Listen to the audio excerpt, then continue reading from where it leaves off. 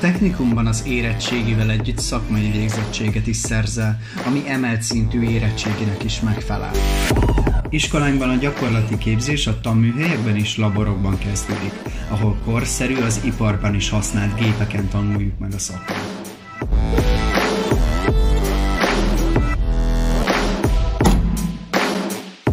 A gépészeti ismereteket az alapoktól kezdjük, a kézi forgácsolással, fűrészeléssel, reszeléssel és lemezvágással.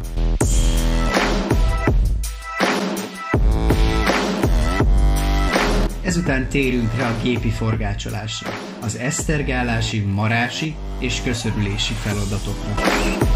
A gyakorlati képzés legmagasabb szintjét a CNC gépek megismerése jelenti, melyeknek programozását és kezelését sajátítjuk el.